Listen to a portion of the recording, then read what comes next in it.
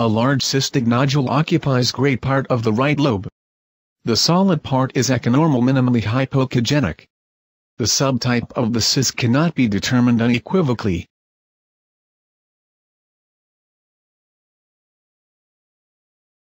Now, we aspirate 14 ml brown cystic content.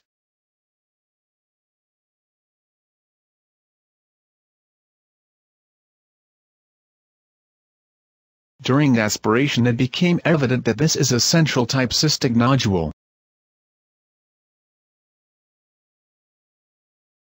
After the aspiration and shrinkage of the nodule, the solid part got moderately hypoechogenic. The intranodular echogenic figures are comet tail artifacts and non-specific granulations.